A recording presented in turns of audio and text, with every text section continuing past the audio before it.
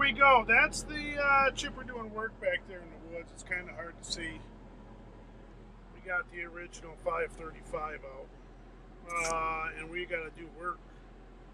So, I'll give you guys a little tour. We'll head to the next job, and uh, I figured you guys could ride along.